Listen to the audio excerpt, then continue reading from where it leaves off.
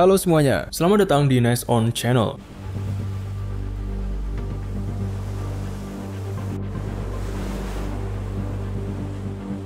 Hampir semua orang terkagum-kagum dengan kapal induk yang besar dan kompleks. Mereka memiliki dimensi yang luar biasa besar. Seringkali, panjangnya mencapai lebih dari 300 meter atau lebih dari 38 sepak bola, dengan berat yang bisa mencapai ratusan ribu ton.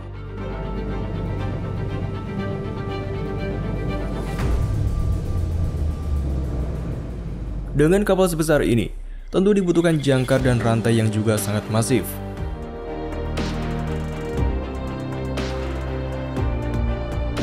Keberadaan jangkar yang masif menjadi bagian krusial untuk menjaga stabilitas dan posisi kapal dalam berbagai kondisi laut.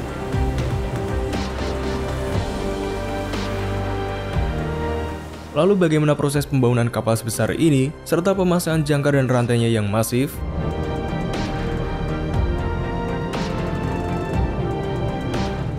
Selama Perang Dunia Pertama, kapal penjelajah dan kapal tempur diubah menjadi kapal induk dan digunakan untuk meluncurkan pesawat B untuk pengintaian.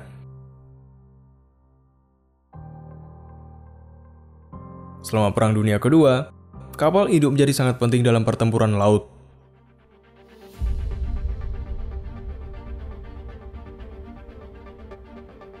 Pertempuran kapal induk antara Jepang dan AS sangat vital dalam perang di Pasifik terutama seperti yang terlihat dalam pertempuran Midway. Here comes a Jap torpedo plane. Watch the gunners get him.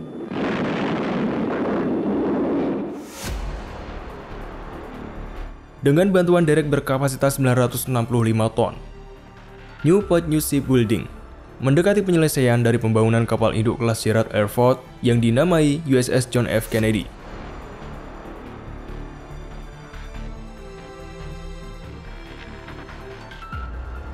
Superlift adalah bagian modular besar yang diprefabrikasi dari kapal induk yang dipindahkan ke posisi selama pembangunan kapal induk.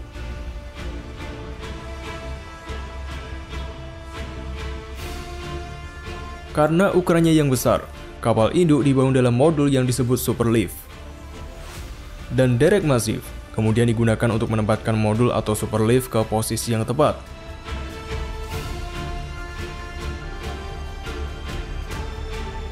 Untuk melihat bagaimana USS John F. Kennedy akan terbentuk, mari kita lihat pembangunan USS Gerald R. Ford, kapal pertama dalam kelasnya.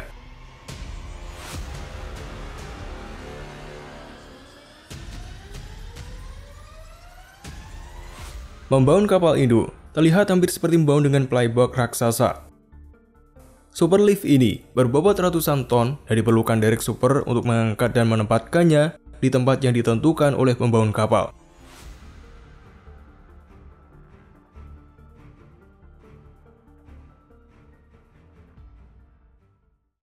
Sebagai contoh, island atau struktur utama di atas kapal induk dari USS Gerald. Ford dibangun dan dipindahkan ke tempatnya di deck sebagai superlift.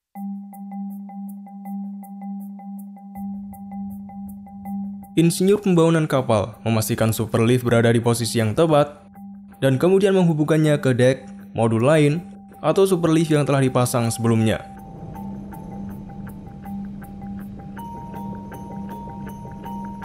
Masa utama dari kapal induk US Navy modern adalah salah satu perangkat superlift yang paling penting yang terintegrasi selama pembangunan kapal induk.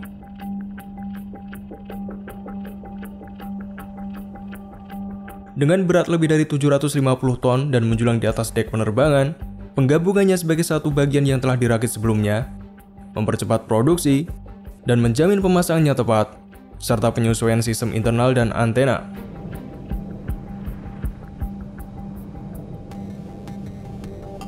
Untuk menyelesaikan integrasi superlift masa utama. Derek gantri raksasa di galangan kapal perlahan-lahan mengangkat kotak baja yang menjulang ke atas dari posisi horizontalnya. Berputar menjadi tegak lurus, sambil menghindari rintangan seperti derek atau struktur lainnya.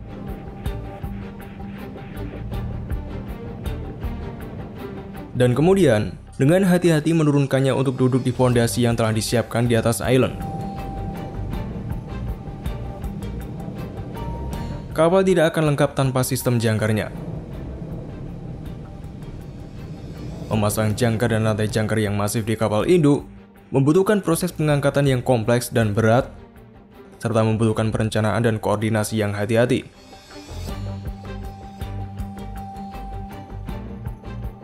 Setiap jangka besi besar yang dicetak berbobot lebih dari 30 ton dan didukung oleh rantai jangkar yang lebih besar lagi dengan panjang hingga 457 meter dengan berat total lebih dari 165 ton.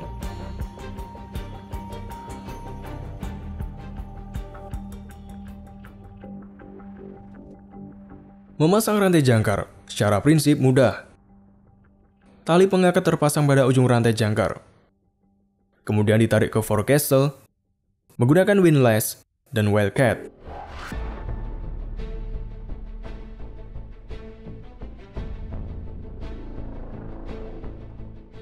Ketika seluruh tali telah ditarik masuk, rantai jangkar dipasang dan tali pengangkatnya dilepas. Setelah evolusi ini, sistem diuji, dan dinyatakan siap.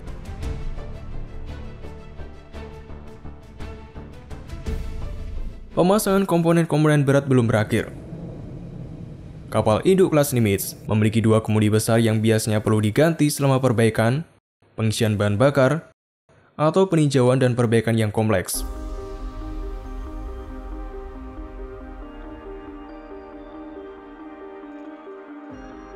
Dok kering disiapkan untuk menurunkan kemudi berbobot 49 ton yang kemudian ditempatkan pada lokasinya di permukaan dok kering.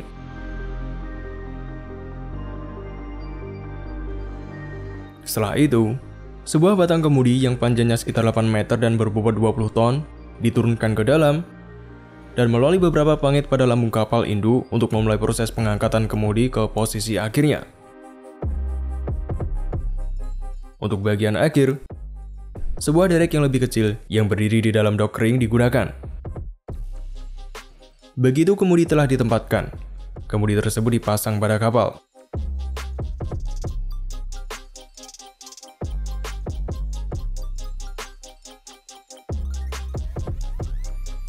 Salah satu alasan utama menggunakan dok kering adalah untuk melepas jangkar dari kapal induk.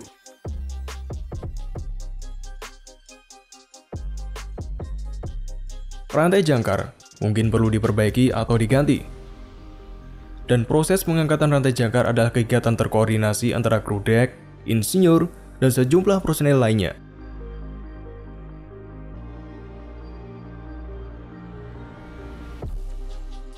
Pertama-tama, jangkar pelan-pelan diturunkan menggunakan windlass di forecastle.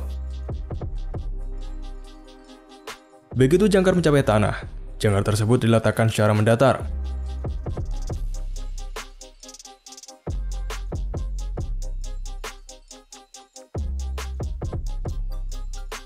Sebuah derek akan mengangkatnya ke trailer dan traktor untuk kemudian diangkat. Setelah jangkar diangkat, kru dek mulai melepaskan rantai jangkar yang dipecah menjadi bagian-bagian kecil. Bagian-bagian ini lebih mudah untuk ditangani sebagai bagian dari proses.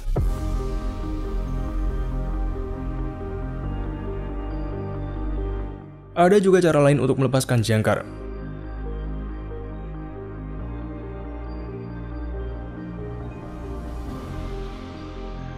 yaitu dengan menggunakan ponton penanganan jangkar yang dibawa ke sisi lambung kapal induk. Jangkar kemudian diturunkan ke ponton oleh kru dek dan diangkat. Setelah jangkar berada di ponton, ponton dikendalikan ke sisi dok, diangkat ke kendaraan oleh derek, dan dibawa ke fasilitas perbaikan, kemudian ke fasilitas pengecatan. Pada September 2019, jangkar diangkat dari USS George Washington karena membutuhkan perbaikan. Namun, disarankan bahwa jangkar dari USS Enterprise yang sudah tidak aktif digunakan kembali.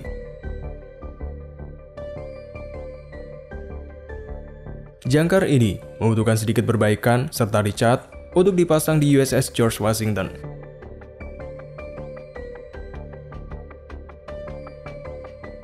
Penggantian jangkar ini tidak hanya dilakukan dengan biaya lebih murah, tetapi juga sebagai wujud penghormatan terhadap USS Enterprise yang sudah tidak aktif. Proses menarik jangkar baru ke host hull kapal induk disebut sebagai onboarding jangkar.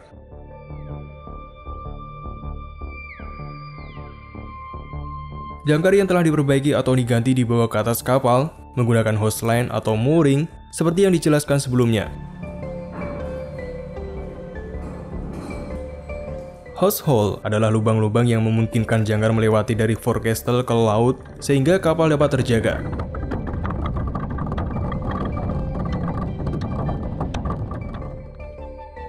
Melalui lubang ini, jangkar baru dan rantainya ditarik. Begitu jangkar berada pada posisi yang tepat, windlass yang mengangkat dan menurunkan jangkar diamankan menggunakan pin baja besar.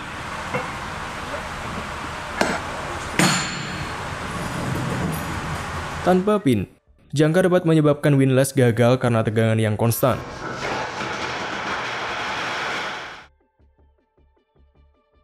Setiap kali keputusan diambil untuk mengangkat atau menurunkan jangkar, serangkaian peristiwa dimulai di forecastle untuk menyelesaikan evolusi tersebut.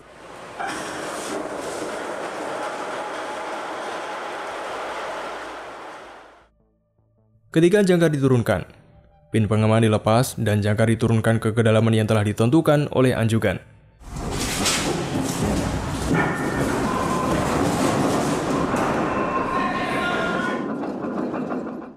Link berwarna pada rantai digunakan untuk membantu kru menentukan panjang rantai yang sudah diturunkan.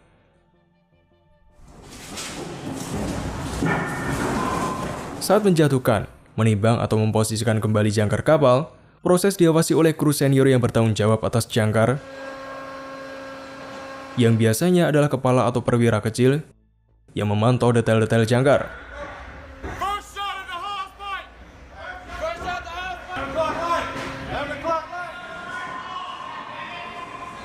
Saat jangkar harus diangkat, windlass diaktifkan untuk mengangkat jangkar dan rantainya kembali ke kapal.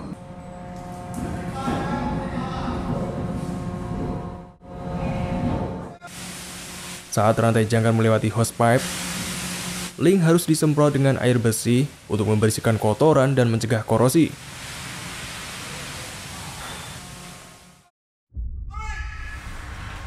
Hal yang sama berlaku untuk hose line yang ditarik ke kapal. Tali-tali ini dikeringkan atau dicuci dengan air tawar untuk menghilangkan air laut yang korosif.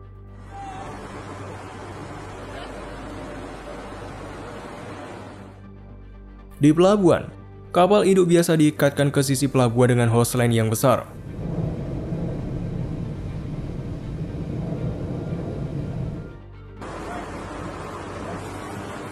Setelah perintah dan tiupan fluid yang menandakan bahwa kapal akan berangkat, tali-tali hos dilepas dari sisi dermaga. Tali-tali ini berdiameter 10 hingga 15 cm dan harus ditarik atau diangkat ke dalam kapal.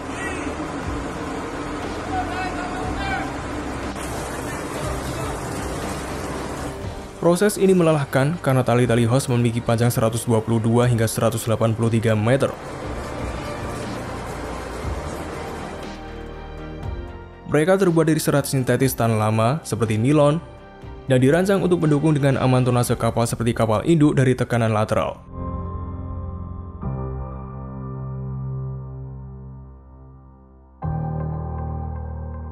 Setelah diangkat ke kapal, tali-tali ini disimpan dalam loker khusus atau ruang penyimpanan di dek kapal.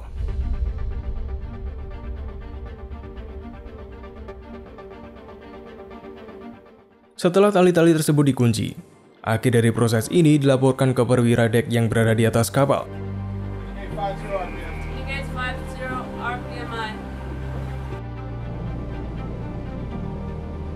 Amerika Serikat adalah negara yang berpengalaman dalam pembangunan kapal induk. Mereka telah membangun lebih dari 12 kapal induk sejak awal pengembangan teknologi ini pada awal abad ke-20. Superlift membuat pembangunan kapal induk lebih cepat tetapi struktur-struktur ini juga sangat berat.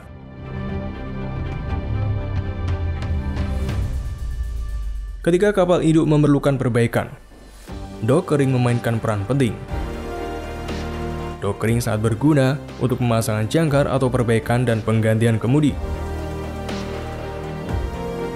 Jangkar tidak hanya dapat diperbaiki, tetapi juga dapat diambil dari kapal yang sudah tidak aktif. Selain jangka dan rantai, kapal induk juga mengandalkan tali-tali hos yang sangat kuat untuk menahan kapal. Inilah akhir dari episode kali ini. Bagaimana menurutmu? Tulis pendapatmu di kolom komentar. Dan nantikan episode selanjutnya hanya di Nest On.